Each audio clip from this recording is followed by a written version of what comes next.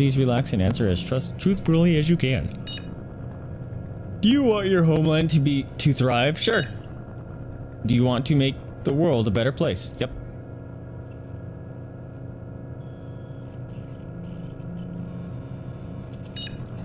There it goes.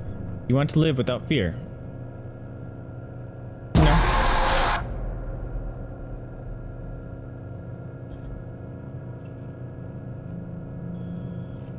No, not okay. You want to establish a productive relationship with Chiron Inc. It's gonna do it again. Fuck, that's terrifying. Will you cooperate? Press O.